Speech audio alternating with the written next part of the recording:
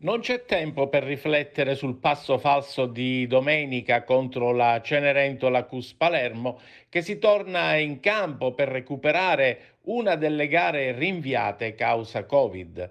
Domani infatti la nissa di mister Angelo Bognanni sarà di scena sul campo del Monreale, una squadra imbottita di giovani ormai da tempo rassegnatasi alla retrocessione. E questo è il motivo per cui la Nissa ha un solo risultato a sua disposizione per avvicinarsi alla zona playoff, ovvero quello di vincere. Per questa trasferta in terra palermitana i biancoscudati dovranno fare a meno in attacco dello squalificato Retucci, un'assenza pesante che costringe mister Bognanni a rivoluzionare il metodo di gioco. Probabile dunque l'impiego delle due punte che potrebbero essere Pardo e Santoro, oppure l'uruguaiano Rizzi al posto di quest'ultimo.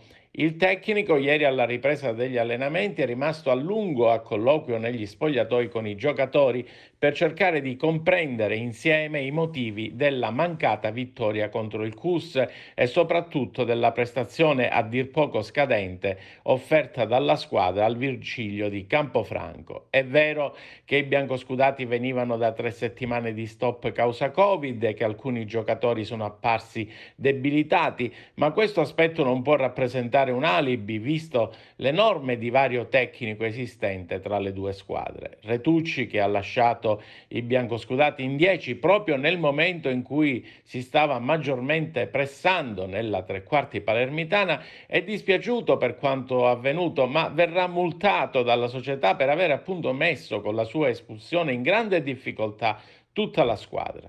Ad ogni modo adesso bisognerà subito voltare pagina e tornare alla vittoria. La Nissa dovrà recuperare nelle prossime settimane altre due gare, quella casalinga con il derelitto Casteltermini e quella in trasferta contro l'ostico Castellammare. Non sono dunque concessi passi falsi, altrimenti i playoff diventeranno un miraggio.